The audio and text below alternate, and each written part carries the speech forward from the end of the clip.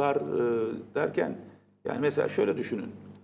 Şimdi bir Cumhur İttifakı var AKP MHP arasında. E, peki İyi Parti ve Saadet Partisi arasında bir ittifak olduğunda nasıl olur? Her şey nasıl tersine dönebilir? İyi Parti'nin AKP'den oy almadığı, fazla almadığı bir ya da iki puan alabildiği, oyların çoğunu MHP'den ve CHP'den aldığı söylenir.